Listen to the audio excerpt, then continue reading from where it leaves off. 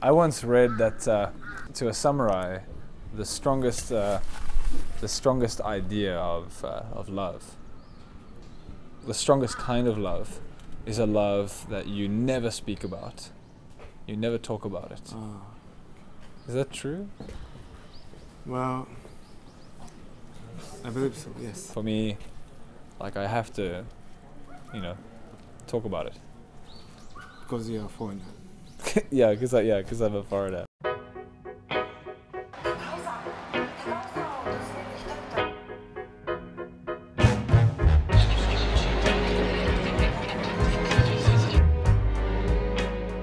my god, so sad. I Are know. you leaving today? I don't want to leave. I want to stay a bit longer. So what are your plans for today? I'm going to uh, Kamakura. Why? My parents used to live there. They lived there for two years. So I'm gonna see the house where they, you know, started their life together. They get this call at about 10 o'clock at night. He's just talking about like some girl and he's blubbering Oh and he's crying and I was just like, what are you saying? I have no idea what you're saying. So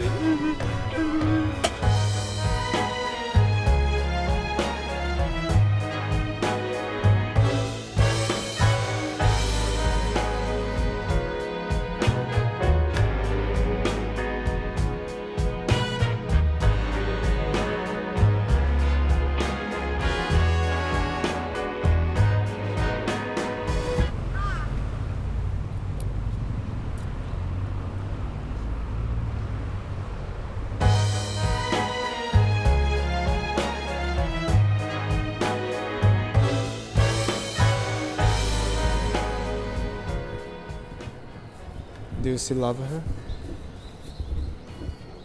Who? The girl.